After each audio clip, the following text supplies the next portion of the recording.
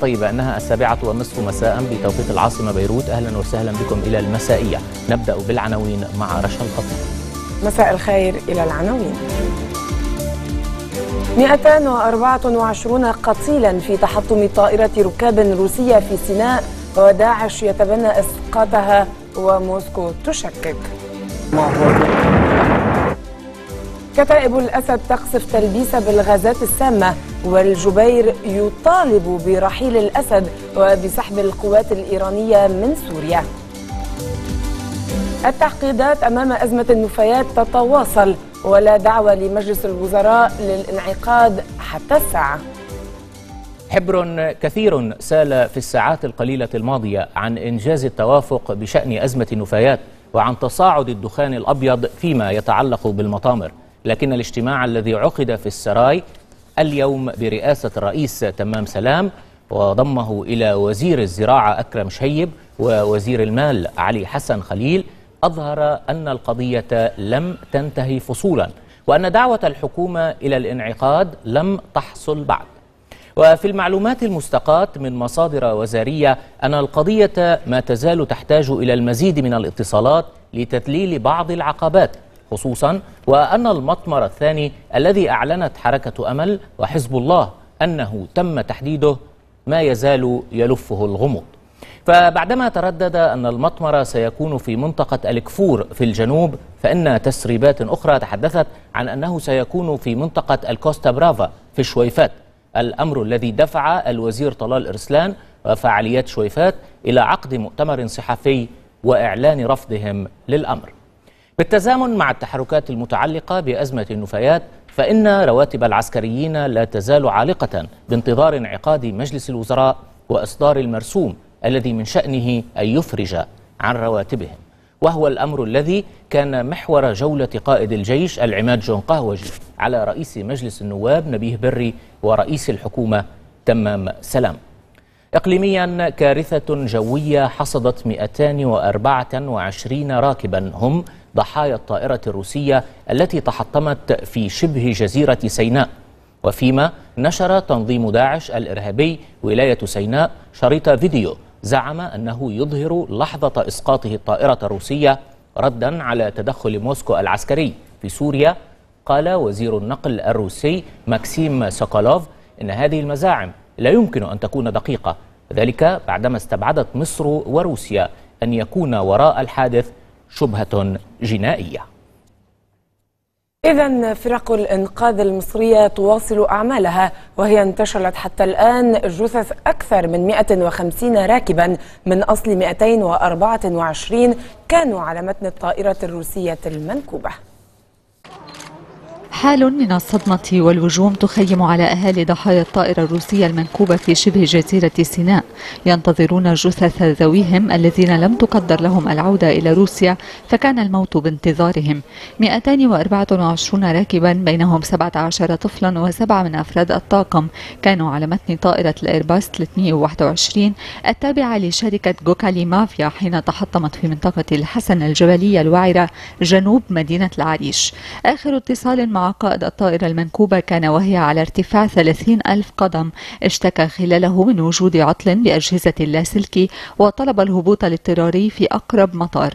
رحلة الموت هذه كانت في طريقها إلى مدينة سان بيترسبرغ الروسية. انطلقت من شرم الشيخ وبعد 23 دقيقة على إقلاع الطائرة فقد الاتصال معها على شاشات الرادار. ليتبين أنها سقطت من ارتفاع 6000 قدم في العريش. وهناك عثر على جثث الضحايا وحطام الطائرة المشطور إلى نصفين وصندوقها الأسود.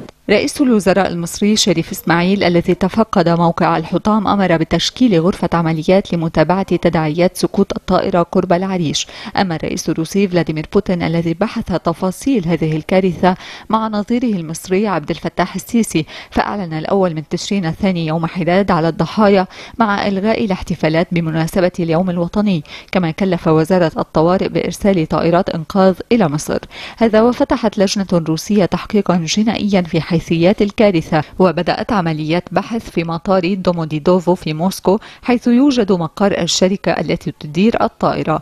بعض سكان سيناء قالوا أنهم رأوا الطائرة تحترق في الجو قبل سقوطها وفي هذا الإطار نشر تنظيم داعش الإرهابي ولاية سيناء شريط فيديو زعم أنه يظهر لحظة إسقاطه للطائرة الروسية ردا على تدخل موسكو العسكري في سوريا غير أن وزير النقل الروسي ماكسيم سوكولوف وصف هذه المزاعم بأنها لا يمكن أن تكون دقيقة وذلك بعدما استبعدت مصر وروسيا أن تكون وراء الحادث شبهة جنائية. وبانتظار جلاء الحقيقة كاملة قررت شركتا لوفتانزا وإير فرانس تجنب التحليق فوق سيناء.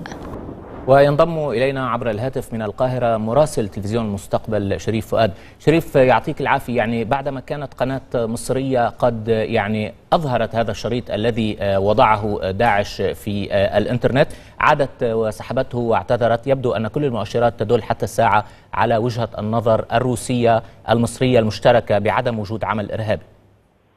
هذه حقيقة محمد يعني هذه القناة المحلية قدمت اعتذارا شديدا وقالت أنها تأكد لديها من خلال أطقمها الفنية أن هذا الشريط غير صحيح على الإطلاق وقدمت اعتذارا بسبب نشره. كل الأجهزة المعنية محمد بما فيها بعض المصادر العسكرية الموثوقة تؤكد أنه لا شبهة جنائية وأنه يستحيل إسقاط الطائرة بفعل عمل إرهابي كما زعمت داعش أو ما تطلق على نفسها ولاية سيناء.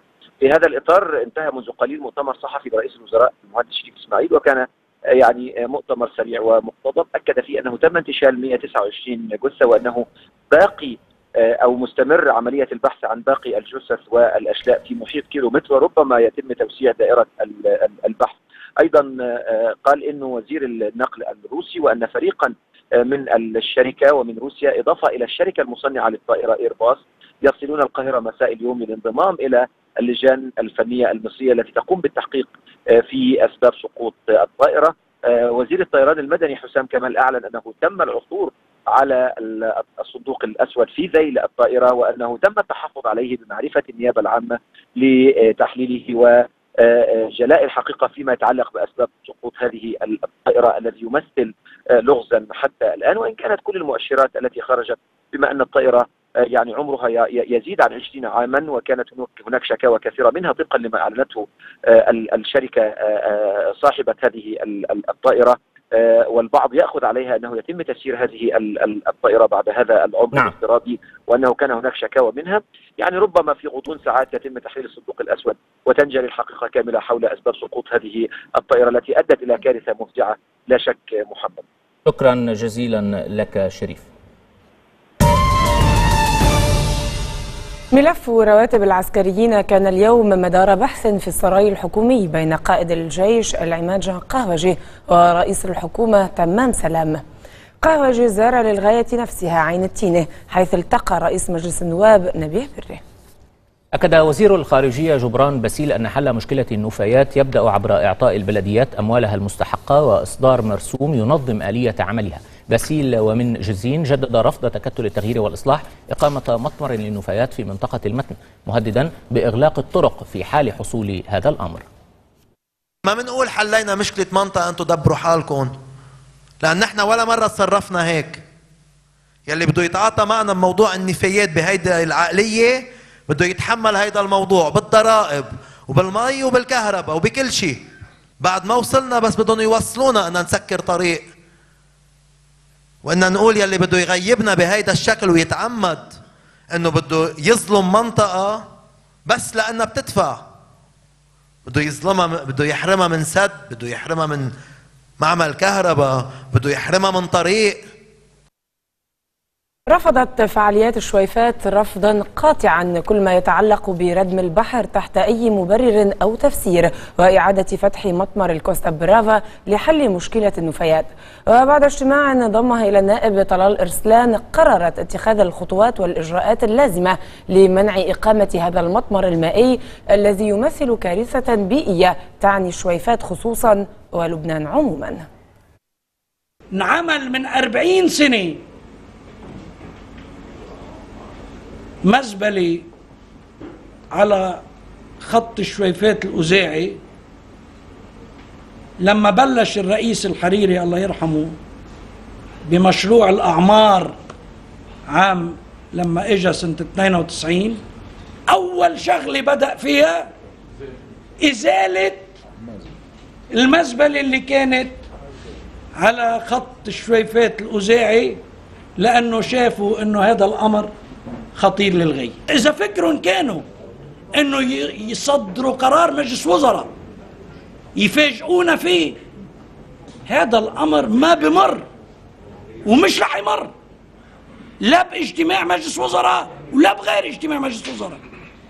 هيك أمور تتعلق بسلامة وحياة الناس مش حرين مين ما كان ياخذ قرار اللي بيناسبه فيه فيما يتعلق بإقامة مطمر سرار دعا النائب معين المرعبي عكار وأهلها لإنقاذ بيروت من الكارثة البيئية والصحية التي تعيشها مشيرا إلى أن العاصمة بكافة مكوناتها كانت وما تزال تحتضن عكار داعمة لمطالبها وحقوقها العادلة. وفي بيان له طالب المرعبي الحكومة بأن تقر مرسوم استملاك المكان واعتماد خطة فرز النفايات وإنشاء معامل الفرز والتسبيخ ومعمل معالجة العصارة بالتوازي مع أعمال تنفيذ المطمر تمهيدا لتشغيل هذه المعامل بأسرع وقت. للتمكن من استيعاب إضافة إلى نفايات عكار نفايات بيروت الإدارية حصرا. كما دعا الأهالي في المحيط في القرى المحيطة والمجتمع المدني لتشكيل هيئة محلية يعاونها خبراء مختصون محليون وخارجيون ممولون من جهات أممية مستقلة للإشراف على حسن تطبيق الشروط الصحية والبيئية من قبل المشغلين. اعتصمت حملة بدنا نحاسب اليوم أمام مبنى تي في العدلية داعية إلى وقف هدر أموال الضريبة على القيمة المضافة وذلك عشية الحراك الذي تنظمه الحملات المدنية غدا الأحد. أمام مقر التي في العدلي صباحا نفذ ناشطون من حملة بدنا نحاسب اعتصاما للاحتجاج على الضرائب المفروضة على اللبنانيين وبشكل خاص الضريبة على القيمة المضافة مطالبين بتحويل أموال البلديات فورا ضمن خطة سريعة لمعالجة النفايات. المنظمون أشاروا إلى أن أكثر من 250 مليون دولار تهدر في مديرية التي في الوقت الذي يمكن لأكثر من 40% من هذه السرقات تغطية سلسلة الرتب والرواتب.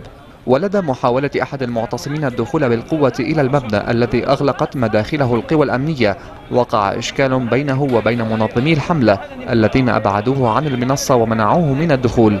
على خط آخر دعا الحراك الشعبي من مقر المفكرة القانونية في بدارو المواطنين إلى المشاركة في تحرك يوم الأحد للتضامن مع منطقة سد البوشري التي تشهد على التلوث الكبير جراء تكدس النفايات.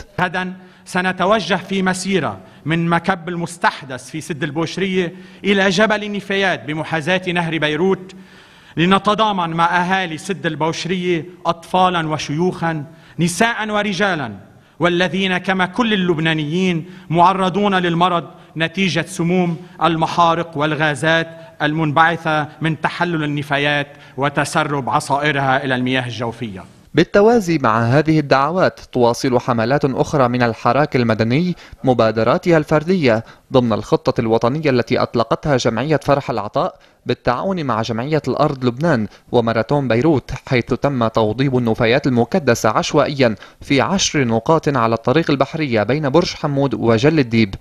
هذه الحملة المستمرة لمدة يومين تأتي في إطار تأمين السلامة العامة والحد من تفشي الأوبئة.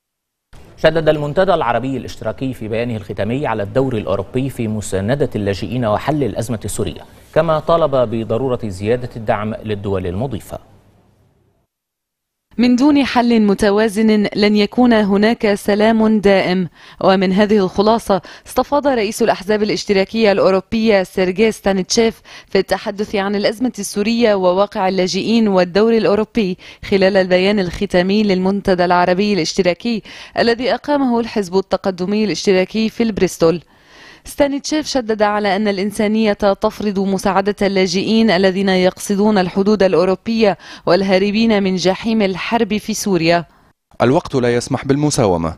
إننا نتكلم عن حاجة قصوى لمساعدة الدول المضيفة للاجئين السوريين بكل الطرق الممكنة وعلى وجه السرعة. فعلينا أن نحترم الالتزامات التي نأخذها على عاتقنا. نحن نقترب من فصل الشتاء والاحتياجات تزيد وعلى أوروبا أن تزيد مساعداتها المالية. وكانت كلمة للنائب وليد جنبلاط تطرق فيها إلى التدخل العسكري الروسي في سوريا وتبعاته وتأثيره على الاستقرار في المنطقة وأوروبا. هناك العديد من الأمور على المحك بعد التدخل العسكري الروسي المباشر في سوريا. وفي هذا الإطار تطرح العديد من الأسئلة فهل يظن الروس أنه من خلال التدخل الأحادي الطرف يمكنهم أن يضمنوا الوضع؟ وهل يظنون أنهم مع حلفائهم الإيرانيين يمكنهم الحفاظ على هذا النظام والوصول إلى الاستقرار؟ وما هي الفترة الانتقالية؟ وما هي مدتها إن وجدت؟ آمل أن تكون روسيا بالفعل قلقة بشأن مستقبل أوروبا واستقرارها ووحدتها فعدم الوصول إلى حل ملائم للأزمة السورية والمقاربة المتجزئة مع عدة قوى معنية يمكن أن يجعل الاستقرار والسلم في أوروبا من دون تبعات معروفة. وفي مداخلة لوزير الشؤون الاجتماعية رشيد درباس الذي شارك في المنتدى ممثلا الرئيس تمام سلام أكد أن الحكومة ما زالت متمسكة بسياسة النائب النفسي عن الصراع السوري داعيا الدول الغربية إلى مساعدة الدول المضيفة للاجئين لا سيما لبنان. إن الدول المانحة أو أي جهة أخرى مطالبة بالإستثمار أعيد الكلام بالاستثمار في مناطق اللجوء السوري وفي الداخل السوري أيضا. علينا أيضا أن نكون شركاء في الاستثمار الإنساني وخاصة على الصعيد التعليمي وبهذا الصدد فإنني أعلن لكم أن وزارة الشؤون الاجتماعية قد أطلقت برنامجا بالتعاون مع اليونيسيف لحضانة هؤلاء الأطفال. وأن اتفاقا مبدئيا قد حصل مع الصندوق الوطني للتنمية الكويتية لإقامة دار للحضانة في مدينة عرسال. كما كانت كلمات شرحت للواقع السوري في ضوء الحرب الدائرة وأوضحت المسارات التي يعتمدها اللاجئون السوريون الهاربون من جحيمها. رأى وزير العدل أشرف ريفي أن المنطقة ذاهبة إلى خيار سياسي معين معتبرا أن لبنان يتأثر مباشرة بالوضع السوري من خلال الاشتباكات الدائرة هناك.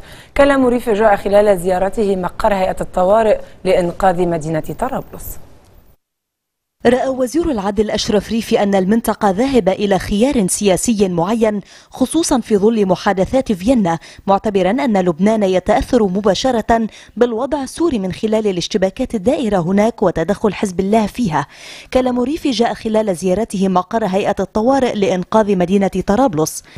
أول من نبهت من موقع الأمني لحظب الله لهم اوعى تغرقوا بالوحل السوري واوعى تفوتوا عسكريا على سوريا. وتدعي أنت أن عم تروح عم تقاتل جهادا عليك أن تتوقع بين هلالين. عليك أن تتوقع كمان بين هلالين الجهاد المضاد وشفناه بكل أسف الحقيقة. أنا برأيي كان أداة لمشروع إيراني غير عاقل أنا بتصور وغير إذا بدك متبصر للرؤية المستقبلية تماما دفع ثمن غالي جدا من شباب حزب الله بأحداث سوريا ولم يحقق شيئا. أما على الصعيد الداخلي ورغم كل التعتيمات توقع الوزير في انتخاب رئيس للجمهورية بين ثلاثة أو خمسة أشهر. الرئيس القوي بدنا إياه. نعم تمام الحقيقة. بس الرئيس اللي بيكون جبان ما بيحمي عسكريته هذا منه رئيس قوي. الرئيس اللي أو الضابط اللي بيهرب من المعركة العسكرية منه رئيس قوي. اللي بياخذ خيارات سياسية خاطئة تاريخيا واستراتيجيا. أنا برأيي منه رئيس قوي ما سمي بتحالف الأقليات خطر هو أكبر خطر على الأقليات. من تحالف مع المشروع الإيراني لا مكان له في رئيس الجمهورية اللبنانية نهائيا. من تحالف مع بشار الأسد ما له محل بالجمهورية اللبنانية نهائيا ليكون رئيس جمهورية. وختم ريفي مطالبا برئيس قوي على صورة الراحل نسيب لحود وأن يكون وطنيا وغير فاسد وأن لا يغطي مشروعا معاكسا لمصالح المنطقة. سلسلة لقاءات عقدها وزير الداخلية والبلديات نهاد المشنوق مع مسؤولين بحرينيين وعرب في اليوم الثاني لزيارته المنامة. تمحورت حول القضايا المشتركة والأوضاع التي تمر بها المنطقة العربية والتحديات الأمنية والعسكرية والسياسية التي تعيشها. المشنوق رفض استعمال لبنان منبرا للهجوم على البحرين. التقى وزير الداخلية نهاد المشنوق في اليوم الثاني لزيارته البحرين نائب رئيس مجلس الوزراء في المملكة الشيخ علي بن خليفة الخليفة الذي نوه بإنجازات الوزير المشنوق ومواقفه تجاه البحرين وتجاه القضايا العربية.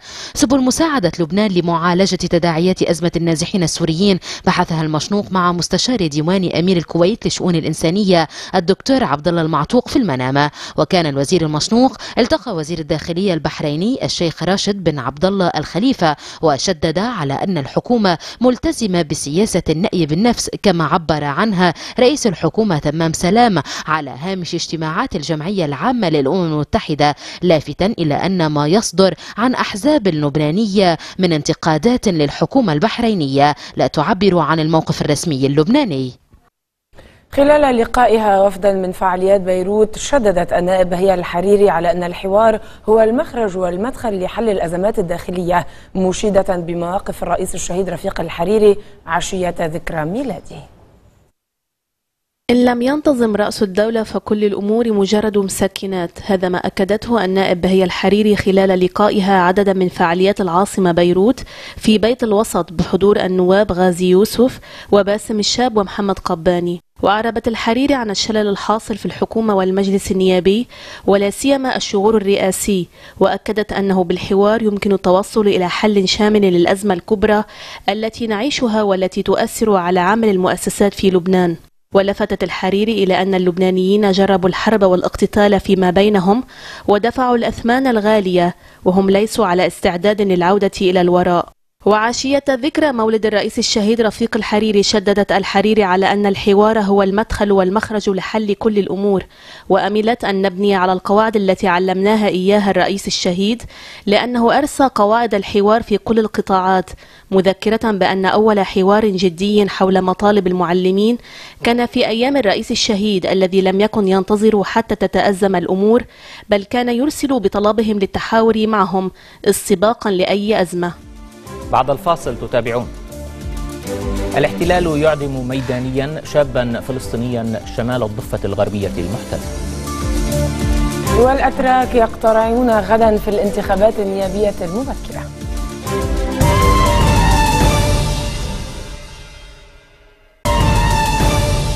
المسائية مستمرة وإليكم تذكيرا بأبرز ما ورد فيها من أنباء. 224 قتيلا في تحطم طائرة ركاب روسية في سيناء. داعش تتبنى إسقاطها. موسكو تشكل. والتعقيدات أمام أزمة النفايات تتواصل ولا دعوة لمجلس الوزراء للانعقاد حتى الساعة. وريفي حزب الله أداة لمشروع إيراني غير عاقل.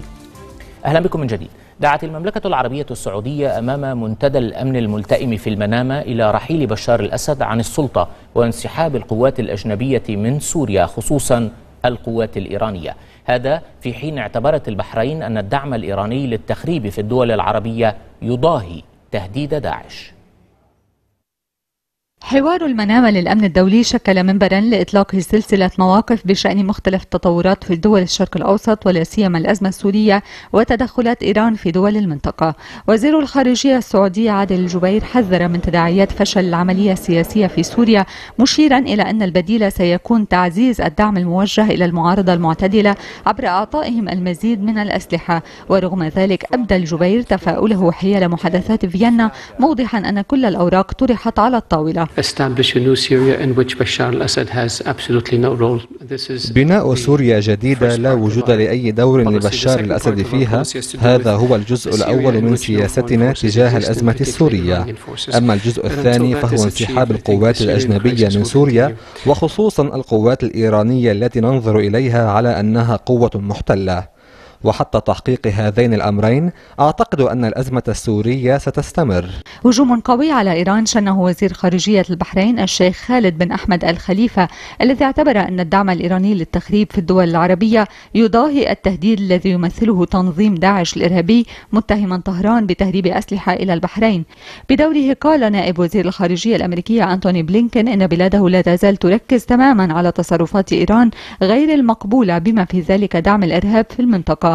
وأضاف أن انخراط الولايات المتحدة في الشرق الأوسط أعمق من ذي قبل وهو انخراط واسع يفوق الجانب العسكري مؤكدا عدم وجود حل عسكري للحرب في سوريا.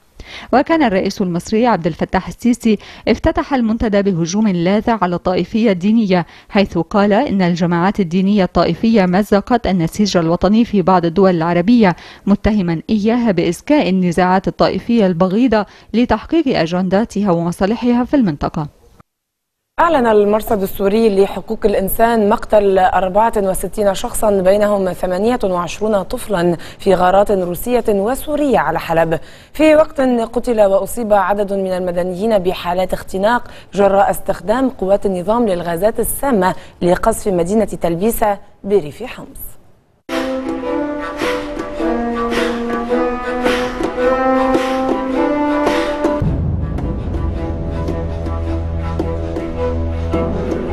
غير مكترثة بسقوط ضحايا مدنيين. تستكمل القوات الروسية حملتها العسكرية الجوية المنسقة مع إسرائيل مستهدفة العديد من مدن وقرى الريف الدمشقي ولا سيما مدينة دوما. يأتي ذلك في وقت تدور اشتباكات بين قوات النظام والثوار في محيط مدينة دارية وسط إلقاء الطيران المروحي أكثر من 20 برميلا متفجرا على المدينة. وفي ريف حمص الشمالي استخدمت كتائب الأسد مرة جديدة الغازات السامة في قصفها للجبهة الجنوبية لمدينة تلبيسة ما أدى إلى مقتل ثلاثة أشخاص وإصابة ثلاثين آخرين بحالات اختناق. في وقت طالت غارات الطائرات الروسية قرية الشعبانية موقعة قتلى من بينهم أطفال. وبمشاركة كافة الفصائل التي تكون قوات سوريا الديمقراطية وبدعم وتنسيق مع طيران التحالف الدولي لمحاربة داعش فإننا نعلن بدء حملة تحرير الريف الجنوبي. من محافظة الحسكة. وإثر هذا الإعلان سجلت معارك عنيفة مع تنظيم داعش في قرية غزيلة بريف الحسكة وسط قصف لطائرات التحالف الدولي. تزامنا قتل عدد من كتائب الأسد خلال اشتباكات مع الثوار في منطقة الجب الأحمر في اللاذقية بينما جدد النظام قصفه لبلدة سلمى وجبل التركمان. وفيما قصف الثوار تجمعات لقوات الأسد في مدينة مورك بحماة شن طيران روسي غارات على مدن في حلب أبرزها مدينة الباب الأمر الذي أدى إلى إصابة عشرات المدنيين. في ظل هذه الأجواء أوضح وزير الخارجية الأمريكي جون كيري أن قرار الرئيس الأمريكي باراك أوباما إرسال قوات خاصة إلى سوريا يركز تماما على قتال داعش وليس دليلا على دخول الولايات المتحدة الحرب الأهلية السورية. لافتا إلى أن هذا القرار يتماشى تماما مع سياسة الرئاسة الأمريكية المعلنة بضرورة دحر وتدمير داعش. نجا قائد اللواء 107 مشاة في مأرب من محاولة اغتيال بتفجير استهدف موكبه أثناء تفقده مواقع عسكرية. وفي تعز قتل أكثر من عشرين من ميليشيات الحوثي وصالح وأصيب آخرون باشتباكات مع القوات الموالية للشرعية. وسط معلومات عن بدء المقاومة الشعبية في استخدام صواريخ تاو المضادة للدروع في تصديها للمتمردين. وبدعم من طائرات التحالف العربي أحبط الجيش الوطني هجوما للميليشيات غربية تعز وتصدى لمحاولة المتمردين التسلل إلى لحج عبر جبال منطقة الوازعية. شارك عشرات عشرات آلاف الفلسطينيين بتشييع جثامين خمسة شهداء أطفال أعدمتهم قوات الاحتلال في الخليل واحتجزت جثامينهم أياما عدة. في وقت استشهد شاب فلسطيني بنيران الاحتلال بحجة محاولته تنفيذ عملية طعن في شمال الضفة الغربية. إعدام ميداني جديد نفذه جنود الاحتلال بحق شاب فلسطيني عند حاجز الجلمة في جنين شمال الضفة الغربية بزعم محاولة طعن أطلق خلاله الاحتلال عشرون رصاصة على الشاب. في وقت استشهد رضيع يبلغ من العمر ثمانية أشهر اختناقا بالغاز المسيل للدموع الذي أطلقته القوات الإسرائيلية خلال اقتحامها بلدة بيت فجار جنوب بيت لحم.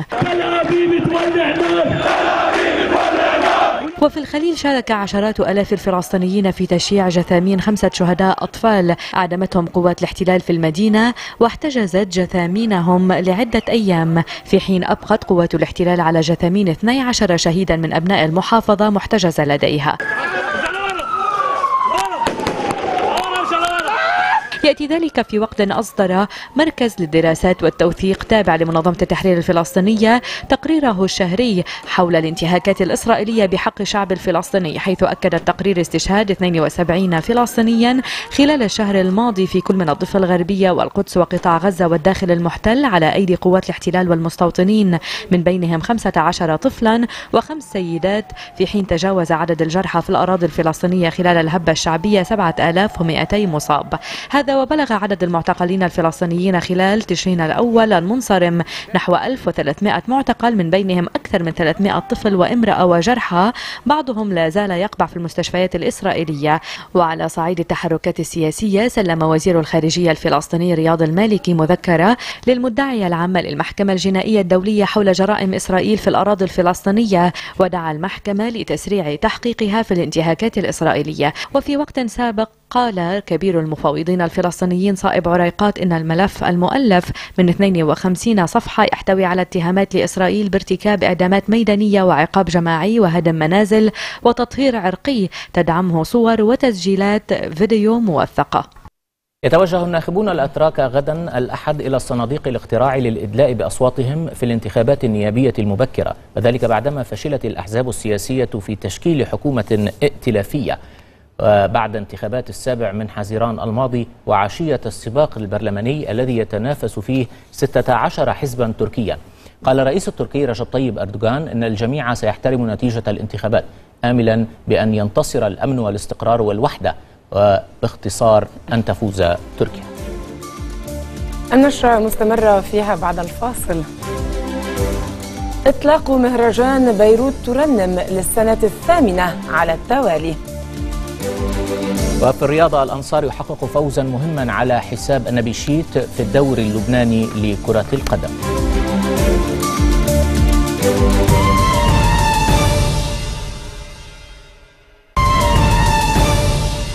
أهلا بكم من جديد. في لقاء خاص مع المستقبل أكدت رئيسة المحكمة الخاصة بلبنان ذات الطابع الدولي القاضي إيفانا هيردليشكوفا أن المحكمة الخاصة تواصل عملها باحتراف كبير وأن الدفاع سيعرض قضيته بعد انتهاء الادعاء من ذلك في الأشهر المقبلة. التفاصيل في تقرير شرب العبود.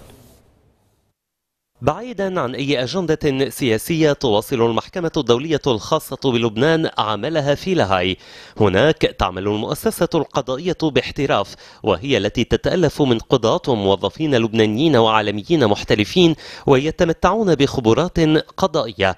أمور جددت رئيسة المحكمة الدولية الخاصة بلبنان التأكيد عليها في لقاء مع الصحفيين ضمن زيارتها الثانية لبيروت وذلك في حضور نائب رئيس المحكمة القادر الفرياشي والناطقة الرسمية باسم المحكمة وجد رمضان ومسؤولة مكتب التواصل في بيروت أولغا كافران. إيفانا هيردليشكوفا القاضية التشيكية منذ العام 90 شددت في حديث لتلفزيون مستقبل على أن المحكمة مؤسسة قضائية بحت. من المهم التوضيح أن المحكمة الدولية الخاصة بلبنان تعمل كجسم قضائي مستقل ومحترف. لدينا مزيج من القضاة اللبنانيين والدوليين الذين يتمتعون بخبرات عالية وعملنا بعيدا عن الظروف السياسية. وهيكلية المحكمة تجعل منها جسما مستقلا وقضائيا بحت. والمحكمة تعمل بدون أي ضغط أو تدخل سياسي. هل حاولت المحكمة الدولية من جديد الاتصال بطريقة مباشرة أو عبر وسطاء ربما بحزب الله بهدف مزيد من أو بهدف إيجاد تعاون معين خصوصا وأن المتهمين الخمسة ينتمون إلى الحزب؟ من المهم أن نبدأ بالقول أن المحكمة ليس لديها جهاز شرطة خاص بها وبالتالي نعتمد على الدولة وفي حالتنا الدولة هي لبنان. نعتمد عليها في التعاون وبذل الجهد لجلب المتهمين إلى المحكمة. إذا على لبنان بذل جهد لجلب هؤلاء إلى المحكمة. سبعة وثمانون شاهدا مثلوا حتى الآن أمام غرفة الدرجة الأولى بالمحكمة على أن يواصل الادعاء عرض أدلته في الأشهر المقبلة. يلي ذلك وحدة المتضررين. ثم قضية الدفاع لتقول المحكمة بعد ذلك كلمتها في الجريمة التي وقعت في الرابع عشر من شباط 2005 وما زالت ارتداداتها مستمرة حتى اليوم. في إطار الجولة التي تقوم بها هيئة التنسيق النقابية على القيادات السياسية التقى رئيس حزب القوات اللبنانية سمير جعجع في معراب وفدا من الهيئة واطلع منه على أجواء تحركها قبيل انعقاد اجتماع هيئة مجلس النواب يوم الثلاثاء المقبل حيث وعد الرئيس نبيه بري أنه سيعيد طرح موضوع سلسلة الرتب والرواتب على جدول الأعمال. دعا النائب محمد الحجار لانتفاضة عربية شاملة لإنهاء الاعتداءات التي يتعرض لها الفلسطينيون من قبل العدو الإسرائيلي. كلام الحجار جاء خلال وقفة تضامنية لشباب تيار المستقبل في الدبي دعما للشعب الفلسطيني. رأى النائب محمد الحجار أن الساحة العربية تشهد تطورات خطيرة مشيرا إلى حجم التدخلات الخارجية الإقليمية والدولية الباحثة عن نفوذ لها ومصالح على حساب حقوق ومستقبل الشعوب العربية. كلام الحجار جاء خلال لقاء تضامني مع الشعب الفلسطيني نظمه قطاع الشباب في تيار المستقبل وذلك في حرم كلية العلوم في الجامعة اللبنانية فرع الدبي. نرى الفلسطيني يقتل بيد إسرائيلية على أرض فلسطين ويقتل هو نفسه بيد إيرانية هي إن كانت مباشرة إيرانية أم من حلفاء إيران على أرض اليرموك في دمشق وهذا الذي يجعل الجو خاليا للعدو الإسرائيلي ليقوم بما يقوم به على أرض فلسطين. المطلوب اليوم همة عربية شاملة في مواجهة كل الذي يحصل. كما ألقيت كلمات باسم الطلاب والأساتذة أكدت على أن فلسطين هي القضية كما قال الرئيس الشهيد رفيق الحريري مستنكرة الصمت الدولي المريب والتقاعس العربي بالإضافة للانقسام الفلسطيني الداخلي. احتفالا بعيدي الميلاد المجيد ورأس السنة أطلق منظمو مهرجان بيروت ترنم برنامجا موسيقيا فنيا للسنة الثامنة على التوالي بحضور النائب بهية الحريري ووزير السياحة ميشيل فرعون. للسنة الثامنة على التوالي ستلتقي الترانيم والأناشيد وستسمع الموسيقى الروحية والكلاسيكية في كل زاوية من بيروت. أمسيات منوعة ستكون في مهرجان بيروت ترنم بدءا من الافتتاح في الأول من كانون الأول. وخلال مؤتمر صحفي عقد في نادي اليخوت في الزيتونة تم الإعلان عن البرنامج الموسيقي المخصص للاحتفال بعيدي الميلاد ورأس السنة التي تجمع المسلمين والمسيحيين بحضور النائب بهية الحريري ممثلة مؤسسة مؤسسة الحريري للتنمية البشرية وزير السياحة ميشيل فرعون إضافة إلى جمع من الشركاء والفنانين. هذه المبادرة التكاملية مع عودة الحياة إلى قلب العاصمة بيروت. المدينة الحبيبة والعزيزة على قلوبنا والتي أودعناها أحلامنا وإنجازاتنا وأرواحنا أيضا. إن بيروت ترنم وبيروت تنشد في كل يوم على أصوات أجراس الكنائس وأذان المساجد.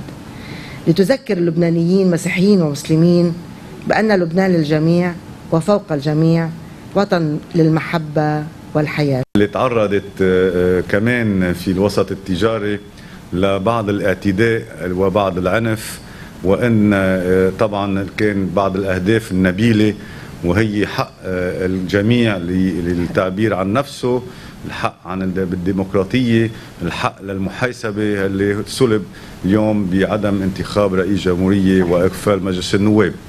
فنحن أكيد بنشوف بهالمناسبة بيروت ترنم هو جزء من المعالجة والشفاء إن شاء الله لهالمنطقة وللبيروتيين ليقدروا يتلاقوا حول هالموسيقى. هالنوع من النشاطات أثبت السنة الماضية عن نجاحه وكان حقيقة نشاط جامع لكل اللبنانيين ما في خلاف عليه أبدا.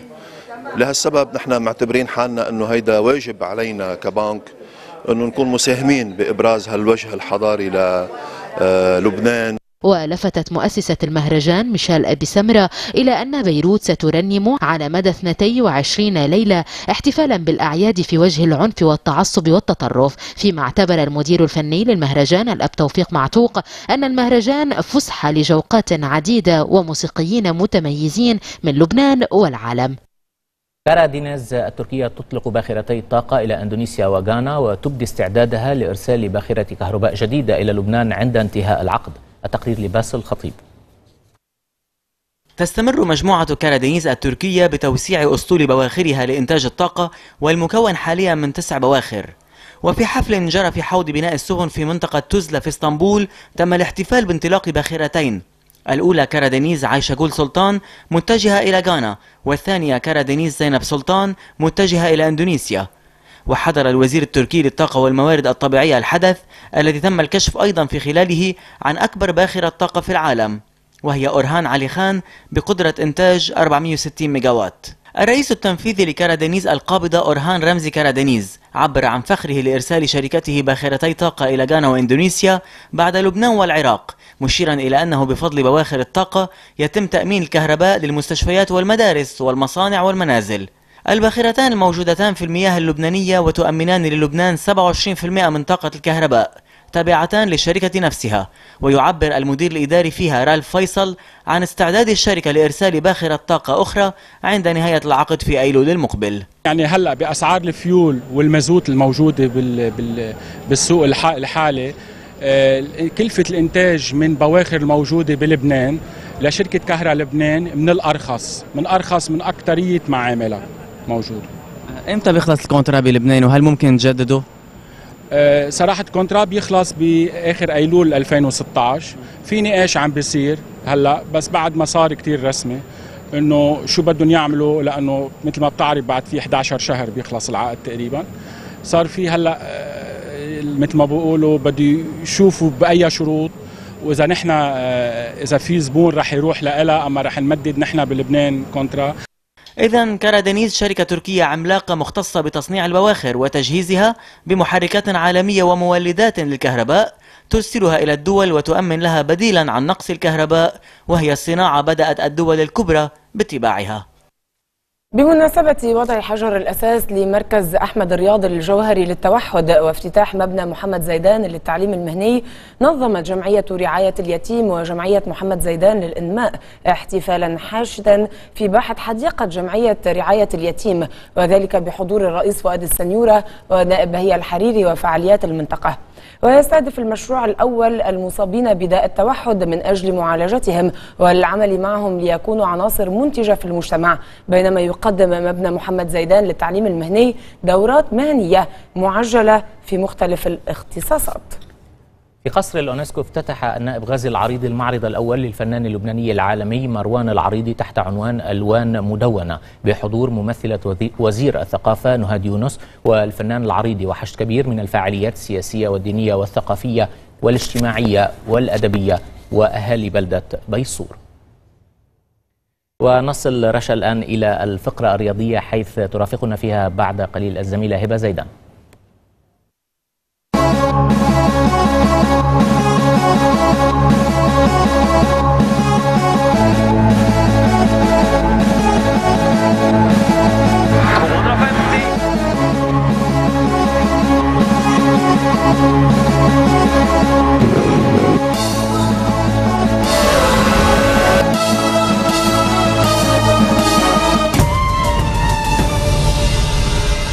مساء الخير. تأهل المنتخب اللبناني للرجبي ليج إلى نهائيات مونديال 2017 المكرر في أستراليا ونيوزيلندا بعد ما جدد فوزه على منتخب الأفريقي الجنوبي بنتيجة ساحقة 50 16 بذكر إنه هذا المنتخب الجماعي الثاني بعد منتخب كرة السلة بيتأهل إلى نهائيات المونديال. إلى أخبار كرة القدم حيث حقق نادي الأنصار فوز مهم على حساب نادي النبي شيد بنتيجة 2-1 بالمباراة اللي جمعتهم على ملعب النبي شيد بالبقاع ضمن فعاليات الجولة الثالثة من الدوري اللبناني للفوتبول. سجل هدفي الأنصار كل من لوكاس جالان في الدقيقة ال 44 عن طريق ركلة جزاء وأيضا الهدف الثاني ربيع عطايا بالدقيقة ال 64 قبل ما يسجل النبي شيد هدف تقليص الفارق بالدقيقة الأخيرة من عمر اللقاء. وبهالانتصار رفع الأنصار رصيده إلى أربع نقاط من مباراتين فيما تجمد رصيد النبيشيت عند ست نقاط. وبمباراة ثانية جرت اليوم أيضا حقق شباب الساحل فوز على شباب الغزية بنتيجة 1-0 تلقى فريق تشيلسي ومدربه جوزيه مورينيو صفعة جديدة بالدوري الإنجليزي الممتاز هالموسم بسقوط مدوي على ملعبه ستانفورد بريدج أمام ليفربول بنتيجة 1-3 ضمن منافسات المرحلة ال11 المدير الفني لنادي ليفربول يورجن كلوب عبر عن سعادته بالأداء يلي قدمه الفريق معتبرا أنه هالانتصار كان مستحق بالنظر إلى مجريات الفريق. بالمقابل رفض جوزيه مورينيو التعليق على الخسارة مشيرا إلى المشاكل الكبيرة المتواجدة بالفريق.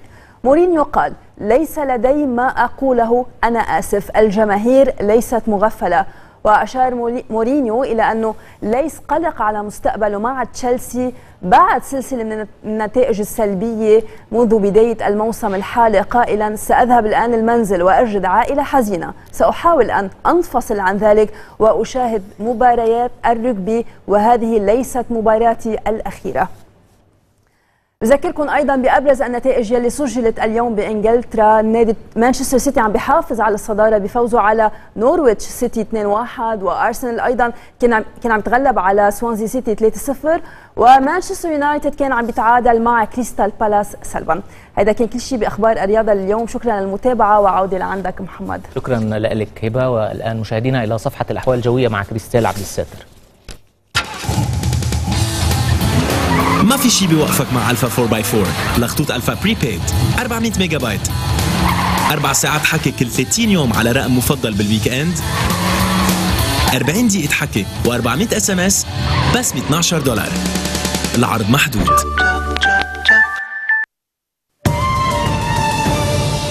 Bonsoir.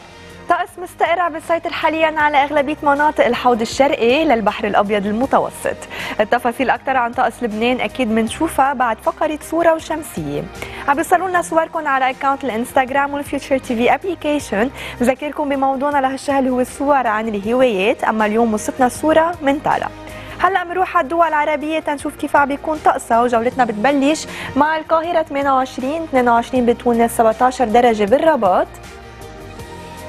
24 ببغداد 20 بدمشق 26 درجة بالقدس والختام عم بيكون مع الكويت 28 أما دوحة والرياض 32 درجة. نوصل هلا على طقس لبنان. بكرة الجو العام عم بيكون بين قليل الغيوم إلى غائم جزئيا مع ارتفاع محدود بدرجات الحرارة. على الساحل الحرارة عم توصل أقصاها ل 29 درجة أما أدناها ل 16 درجة الرطوبه عم توصل أقصاها ل 80% أما سرعة رياح عم توصل لل 40 كم بالساعة. بالجبل عم تتراوح بين 12 وال 24 درجة أما بالداخل عم تسجل أقصاها 28 درجة. جولتنا اللي بتاخذنا من الشمال لجنوب بتفرجينا أكثر تفاصيل الحراره ببعض المناطق اللبنانية. بنبلش جولتنا من الشمال مع كار 26 28 بطرابلس 18 بالقرس 27 درجة بالكوره 26 بالهرمل وبالقاع 17 ببعلبك 18 درجة بريق. نوصل على جبال 25 20 بميروبا 29 درجة بجوني وببعبدا بيروت كمان عم توصل فيها الحرارة ل 29 درجة والطقس عم بيكون بين قليل الغيوم إلى غائم جزئيا. زحلة وشتوره 27 26 بعنجر 27 درجة بمشغرة 27 بجزين 26 برشية وبمرجعيون 28 درجة ببنت جبال والختام عم بيكون مع بيت الدين 24 أما المناطق الجنوبية صيدا وقانا و28 درجة. مثل ما ذكرنا لبكرة عم بيكون في عنا طقس بين قليل الغيوم إلى غائم جزئيا مع ارتفاع محدود بدرجات الحرارة. أما لبكرة الحرارة عم توصل أقصاها ل 29 درجة أما أدناها ل 19 درجة. مثل ما شايفين عم بيكون في عنا انخفاض بدرجات الحرارة لنهار الاثنين والثلاثة وعم تستقر تتوصل أقصاها لل 25 درجة. بمنطقة الأرز الحرارة عم تتراوح بين 8 وال 18 درجة. لهون بتكون خلصت النشرة الجوية. بعتوا لنا صوركم على account الإنستغرام وال Future TV application وأكيد شو ما كان طقسكم المفضل لاقونا على طول على المستقبل.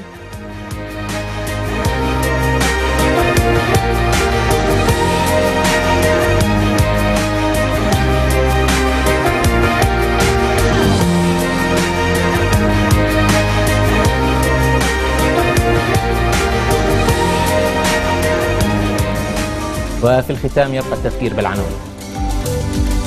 224 قتيلا في تحطم طائرة ركاب روسية في سيناء داعش يتبنى إسقاطها وموسكو تشكك.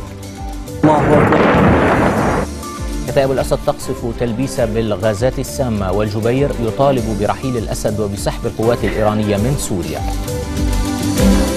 التعقيدات أمام أزمة النفايات تتواصل ولا دعوة لمجلس الوزراء للانعقاد حتى الساعة. لكم أطيب التمنيات من تلفزيون المستقبل وإلى اللقاء. إلى اللقاء.